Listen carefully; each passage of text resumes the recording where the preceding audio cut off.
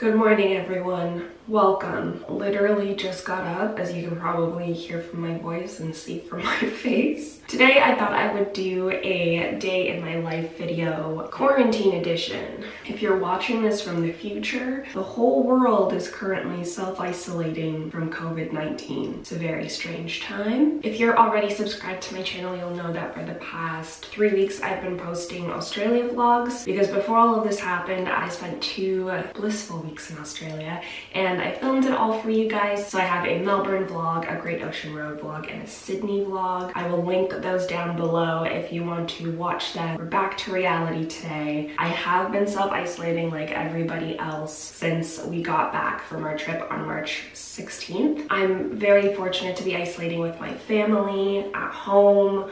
So that's where I'm gonna be filming today. So anyway, this is a day in my life in self-isolation. I'm gonna warn you right now, it's not gonna be super exciting, but this is real life right now. So here it is in all its glory.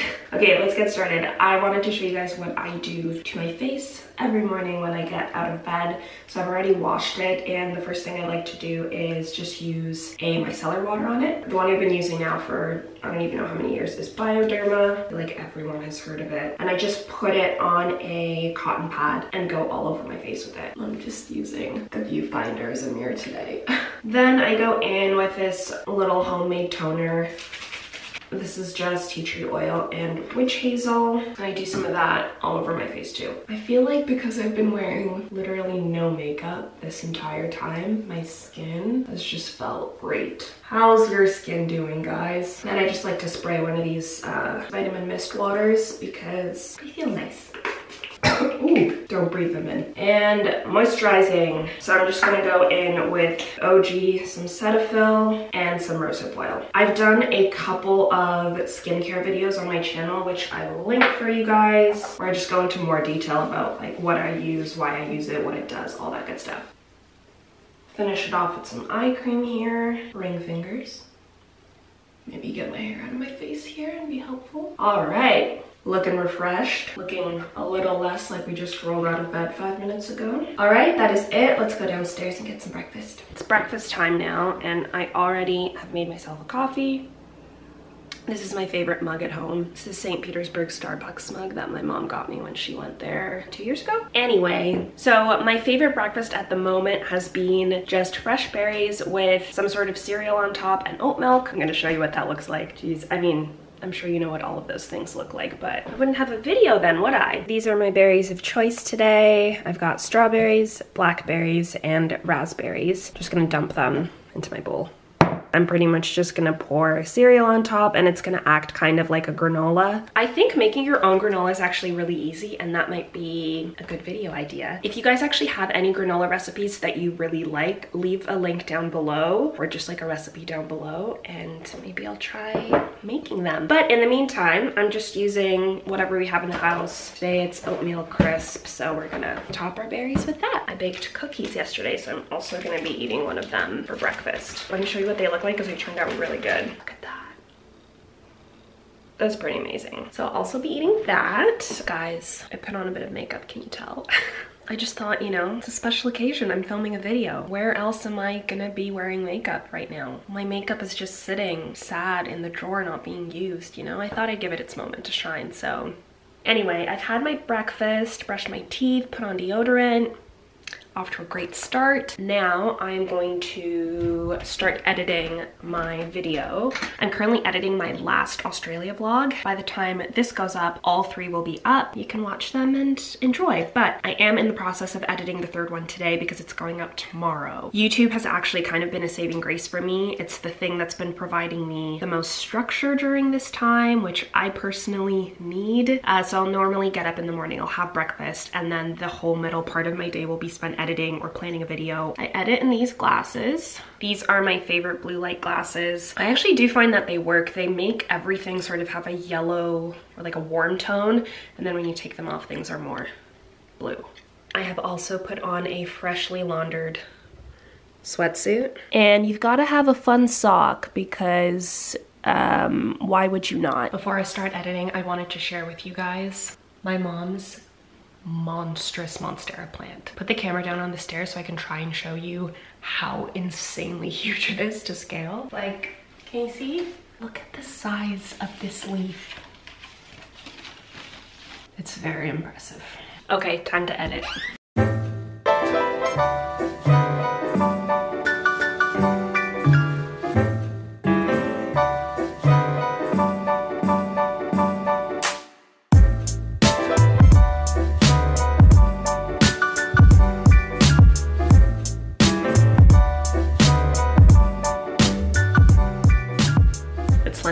So for today's lunch, I'm gonna be making my family some avocado toast. Very exciting. Does everyone in the world know how to make avocado toast? Probably. Am I gonna show you how I make it today anyway? Absolutely. So let's get started here. I'm gonna balance you in this fruit bowl. Oh, that's pretty good. Nice. All right, so you obviously start out with toast because it's avocado toast. Typically would use a more traditional style toast, but this is what we had in the house, so this is what we're working with today. Find some ripe avocados in this little vase my mom keeps them in. Let's see. I normally just feel them, and I feel like by touch you can tell. That's a good one. All right, three ripe avocados. Also gonna be using some tomato, oops, black pepper, Trader Joe's, everything but the bagel seasoning. I know you can't get this everywhere, but if you do live in an area where there's Trader Joe's, this stuff is gonna take your avocado toast to the next level. And salt, which I have in this adorable little pug salt shaker. Start by washing your avocado. Let's see if I chose a good one. that is a perfect avocado. So I normally mash my avocado straight onto the toast. Ooh, look at that steam. Mmm. I slice my avocado carefully in the skin shell. Then I just scoop it out with a massive spoon, like so, like that, and then put it straight onto my toast. I do the same thing for the other side. Take your seed out. I put my avocado on my toast and I literally like mash it on the bread. So I like to mash about this much, kind of go for this like artisanal look where it's not like fully mashed, you know? I like to do some lime juice. Obviously, ideally you'd be using a fresh lime, but this is what we had. Just do a bit of that right on top. Oh yeah, our tomatoes, I almost forgot. Let me know down below if your life has also just been revolving around your meals lately. So we got our tomato on, do some fresh ground pepper, salt, our bagel seasoning. And this is the final product. Mmm. Very easy, very delicious, very nutritious. Now I'm going to make the rest of them. What have you guys been eating for lunch? Have you tried that TikTok coffee, the like foam coffee? Is it actually good? Because it just looks like a lot of work. Is it worth it, guys? I also feel like everyone in the world is making banana bread. Am I wrong? I don't think so. But I actually did find a really good vegan banana bread recipe, which if you guys are interested, I will film a video of me making it because it's super easy and it honestly just tastes like banana bread. I'm halfway through. None of my family wants to be on camera, but are you enjoying your lunch? Yes. Mom? Yeah. Can you uh, at least avocado cheers with me? Mom? Oh, there we go. I've left my kitchen, can you believe it? I feel like I spend most of my time in my kitchen now because I work in there, I eat my meals in there. Another thing I've been doing is actually working out quite a bit. As some of you will know, when I'm in LA, I train with my trainer Scott, but while I've been home, I've just been doing like at-home workouts. So what I like to do is there are a few people that I really like on Instagram that tend to post little short circuits that you can do, essentially curate a workout that works for you. I think right now everyone is posting their at-home workouts, so it's really not been hard to find some sort of way to like stay active and exercise. It's just something that I find has been really good for me, keeping some semblance of structure, and I just feel really good when I'm exercising. Just gotta do what works for you. So I've been trying to do like a workout every other day. Today is my non-workout day. Today is my cooking dinner day. Ah, this has um, been some really interesting lighting. But yeah, it's about five o'clock now, so I'm going to make some dinner. Today we're making uh, chickpea and chorizo tacos. I mean, like my day has not been super exciting, but that's kind of the reality of things. I've just been editing for most of the day. Lately after dinner, my family and I have been playing some sort of game, so bananagrams or cards, and it's been really cute because it's not typically something we do. I feel like games are something my family family plays like over holidays. All right, let's get cooking. Back in the kitchen. Today we're making homemade chorizo and chickpea tacos. First thing you have to do is set the oven to 400 degrees Fahrenheit. Oven is set. Drain and rinse the chickpeas. Roughly chop the cilantro. Mince the garlic. And then, okay, let's start with that. So we're gonna drain our chickpeas first. Comment down below if you remember me opening a can with this thing. I think it was in my um, video with Mike. This is the old school can opener. Okay, we're gonna strain these over the sink. Chickpeas are being washed. Oh, I like having a helper. So chopping the cilantro and the garlic. Are we chopping all four cloves? It seems like a lot. I guess so. The cilantro is for garnish, so we're gonna chop that later. So first thing we're gonna do is make our roast chickpeas. We've already drained and washed our chickpeas. Thank you. Once we have that all combined before we put it in the oven, I will show you what it looks like. Okay, chickpeas are ready. This is what they look like. Mmm. So we're gonna pop these in the oven for 14 to 16 minutes chickpeas are in the oven. The next thing we're gonna do is make our homemade chorizo. We have this big hunk of meat here. Sorry to all the vegans. Fry it up, spice it. They also give you some apple cider vinegar, I guess to make it tender. I've used vinegar before on meat, but never apple cider vinegar, so. Sous Chef is just uh, blend making our chorizo meat right now. Okay, thank you. You gotta get in there, but just remember you should be washing your hands for 20 seconds with soap and warm water before you touch any kind of meat or human being or literally any other surface. You hear that hand washing? Happens all the time in this house. We're now gonna heat a pan with some olive oil and start cooking up our meat. So the meat is sizzling away. You just gotta break it up in the pan. We're going to warm our tortillas. The chickpeas are gonna be done in 28 seconds and we're really close to putting this whole meal together. How exciting. The chickpeas are done and we're shaking them. Oh yeah. Just gonna pull the tortillas out of the oven. We warm them up in this little foil thing here. Our tortillas are here. I just warmed them at um, 400 degrees for seven minutes. Lovely. Plated the tacos, gonna go in with some toppings. Guacamole. Yogurt and spices. I don't like cilantro, so I will not be putting any on my plate. This is what it looks like. Also, my mom is eating vegan at the moment, so she's just having chickpeas and everything else. Okay, gonna enjoy dinner. Post-dinner bananagrams. Mom, we're still, you already turned your letters oh, over. Sorry. Somebody's eating. No. Split.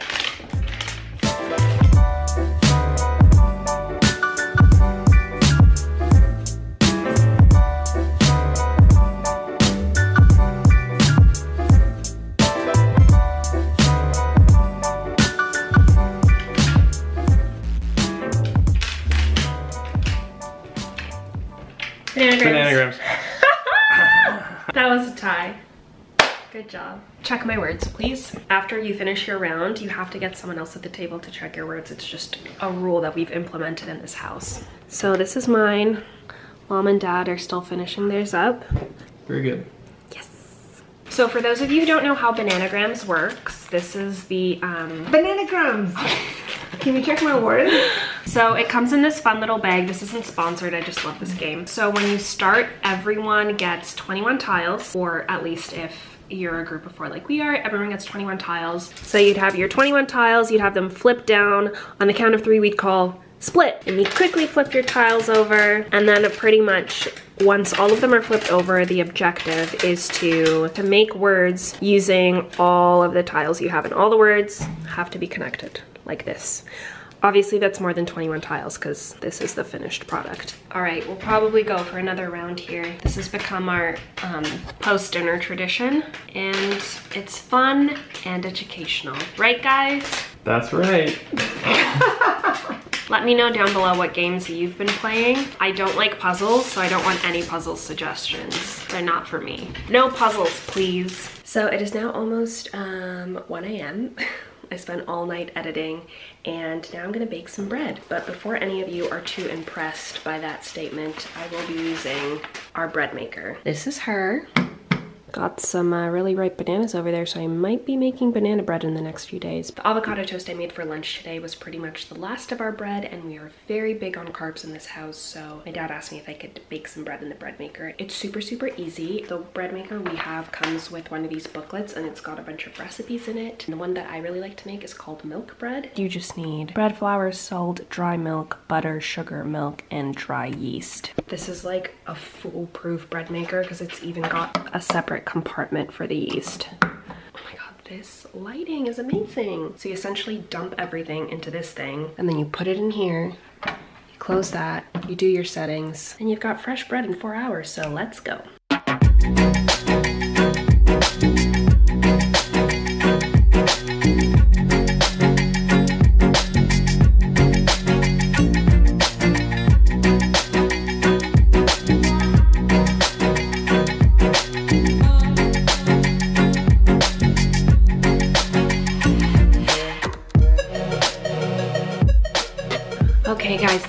It'll be ready in four hours, which means that I have to come downstairs at 5.15 in the morning to take it out of the bread maker, which that is the end of the video. I hope you enjoyed. I did want to say before I sign off that I hope everyone is staying safe and being vigilant with their health and the health of others. I hope that some of the content that I've made helps to brighten your day a little bit and ease some of your stress. The nice thing about social media is I feel like there are a lot of people right now creating really fun content that is sort of helping all of us get through this weird time. I would apologize for this vlog not being more exciting, but what does anyone really expect from a quarantine vlog at this point? If you'd like, you can subscribe to this channel and like this video and join our little internet family. Like I've already said, I hope you guys are doing well. Make sure to check in with your loved ones, with your friends, especially people who have to isolate alone, who have no family nearby. If you've got older neighbors or grandparents that maybe can't get out to the grocery store, offer to go for them. I know a lot of grocery stores right now are doing seniors hours, which is amazing. If there's someone in your life who's older,